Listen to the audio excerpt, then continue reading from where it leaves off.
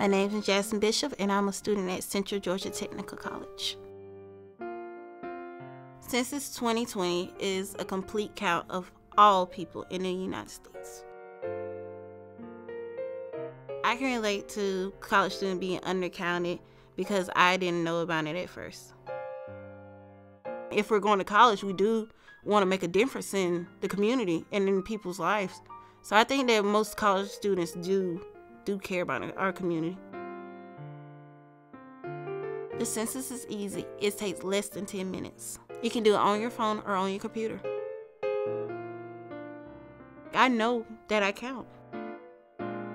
You actually matter. Your your number. Very important number, very right.